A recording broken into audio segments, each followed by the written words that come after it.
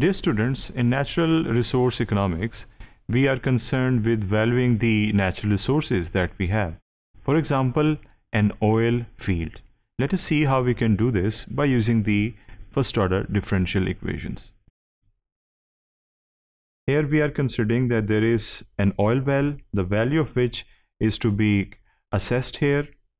and this oil well is being explored. Initially अगर उसकी value देखी जाए तो वो ये है The initial value of this oil well is $2700 and is decaying at the rate this और इसकी जो value में कमी हो रही है decay हो रही है because oil well definitely over time uh, when it gets depleted uh, its value will decrease so इसके decrease होने के जो uh, रफ्तार है it is modeled with this differential equation so इसका जो time path है हम develop करके मुख्तलिफ़ interpretations कर सकते हैं regarding it सो देयर फोर हमने इस इक्वेशन को बोरो किया जो कि rate of value of oil well assess करती है। ये वो इक्वेशन है। And we can rewrite it to compare with the standard form of the differential equation definitely इसे स्टैंडर्ड फॉर्म से कंपेयर करेंगे ताकि हम इसे सॉल्व कर सकें और टाइम पार्ट डेवलप कर सकें for the value of the oil field ये है वो स्टैंडर्ड फॉर्म से comparison in this step actually ये है वो स्पेसिफिक फॉर्म ए की वैल्यू है हमारे पास ये और बी की वैल्यू है ये। So it is easy for us to extract it और यहाँ पर एक्सट्रैक्ट करके हम इन वैल्यूज़ को नोट कर रहे हैं। ये भी नोट कर रहे हैं कि इनिशियल कंडीशन क्या थी।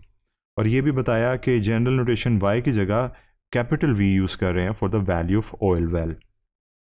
now it is time for us to decide कि which one of the cases is there for the first order differential equations B की वैल्यू पहले हम देखेंगे और उसके नॉन ज़ीरो होने की वजह से we can say that we are dealing with the non homogeneous case उसके बाद ए को हम देखेंगे। ए भी नॉन ज़ीरो है, इसका मतलब ये है कि नॉन होमोजीनियस केसेस में से वो वाला केस है जहाँ पर ए ज़ीरो नहीं होता।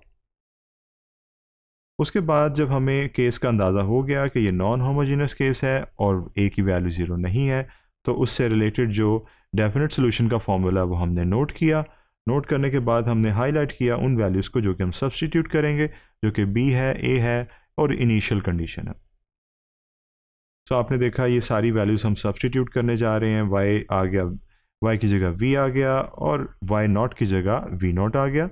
बी की वैल्यू आ गई ए की वैल्यू अगेन ए की वैल्यू बी की वैल्यू और ए की वैल्यू और इन वैल्यूज़ को अब हम सिंप्लीफाई करेंगे जो आपके लिए एक मुख्तसर सी और आसान सी रिहर्सल है। सोल्यूशन के बाद आप देखेंगे आपके पास फाइनल रिज़ल्ट ये आएगा।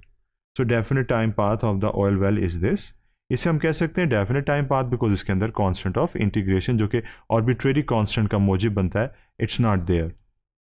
सो ये है we see that is the complementary function for the value of the oil well और ये है हमारे पास इक्विलिब्रियम वैल्यू जो कि वाई पी वी पी से रिप्रेजेंट हुई है। डायनामिक स्टेबिलिटी की अगर हम बात करें तो वो इस फ़ंक्शन से uh, हम असेस करेंगे और इसके अंदर जो कंपोनेंट है वो है we see that is the complementary function of the value of oil well जिसे हम यूज़ करने जा रहे हैं यहाँ पर in order to find out if the time path is dynamically stable और नॉट तो इसलिए हमने सिर्फ़ कम्प्लीमेंट्री फ़ंक्शन को यहाँ पर बोरो किया जो एक्चुअली डेविएशन को शो करता है। और जब हमने इसे इवेलुएट uh, किया उन वेरियस वैल्यूज़ जहाँ पर हमने अपनी सहूलत के लिए इन वैल्यूज़ को छोड़ा otherwise these are continuous values तो we found that after quite a bit of calculations ये uh, तकरीबन ज़ीरो तक पहुँच जाती है जो कि हम असेस करना चाह रहे थे। Uh, दो इसमें डिक्लाइन फौरी तौर पे स्टार्ट हो गया but definitely it's a slow decline that is why हमने uh, एक हायर वैल्यू तक असेसमेंट की। उसके बाद जो हमारे पास टाइम uh, पाथ है वो हमने कैलकुलेट uh, किया जिसमें हमने सिर्फ़ 700 ऐड किया। इस डेविएशन के अंदर, जो कि इक्विलिब्रियम वैल्यू है 700 एंड डेविएशन की मुख्त वैल्यूज़ उसमें हमने जमा की। तो जमा करने पर we found that initial value जो कि 2700 थी, उससे कम होते होते वैल्यू 700 के करीब पहुँच गई, जो कि इक्विलिब्रियम वैल्यू है। इट मीन्स के कन्वर्जेंस हो रही है टुवर्ड्स द इक्विलिब्रियम जिससे डायग्रामेटिकली हम देख रहे हैं कि यहाँ पर किया हुआ है value of the oil well depends upon time जिसकी इक्विलिब्रियम वैल्यू है 700 वैल्यू की और वैल्यू को जब हम स्टार्ट करेंगे तो it will start from 2700 which was the initial condition और 2700 से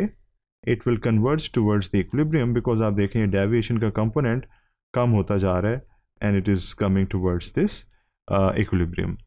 so ये फिनोमिन वही है कि जैसे जैसे टाइम गुजरा वैसे वैसे value of the oil well उसका जो कम्प्लीमेंट्री फ़ंक्शन है वो रिड्यूस होता गया डेविएशन कम होती गई और ये पॉजिटिव डेविएशन थी। और उसके बाद time path slides and converges towards the equilibrium time path जो है कन्वर्ज हो रही है टूवर्ड्स द इक्विलिब्रियम स्लाइड होके ऊपर से नीचे की तरफ़। सो so ये एक कन्वर्जेंट टाइम पाथ है और इस प्रोसेस में हमने फ़र्स्ट ऑर्डर डिफरेंशियल इक्वेशंस को यूज़ किया